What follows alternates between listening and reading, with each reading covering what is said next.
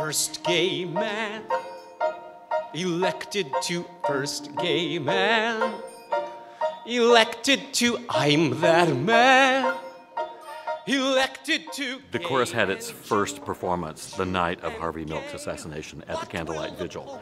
So for 35 years, Harvey Milk and his legacy have been a part of the chorus. Gay man elected to represent, expected to change and cope, climb around. I wanted to be able to write something that could express what Harvey was trying to get at, which was be yourself, be honest, be authentic.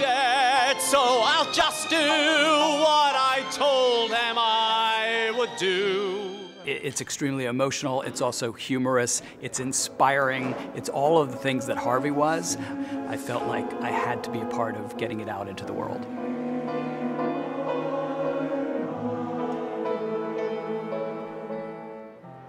We're not really singing about being gay. We're not singing about gay people. We're singing about people. We're singing about the feelings and the responsibilities that we have as citizens of a community where we're all different. We all come from various places. We all are different ethnicities.